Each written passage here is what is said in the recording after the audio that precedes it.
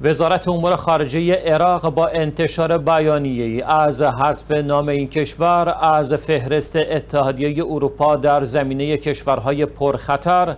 در پولشویی و تأمین مالی تروریسم خبر داد. این خبر در نامه‌ای که هیئت نمایندگی اتحادیه اروپا تقدیم مصطفی کاظمی نخست وزیر عراق کرده آمده و در آن به عراق به خاطر اتخاذ اقدامات و تلاش‌های بسیار در بهبود وضعیت مبارزه با پولشویی و تأمین مالی تروریسم تبریک گفته شده است. وزارت امور خارجه عراق در ادامه از همکاری مثبت و مستمر اتحادیه اروپا و کشورهای عضو آن در رایدهی به خروج عراق از فهرست کشورهای پرخطر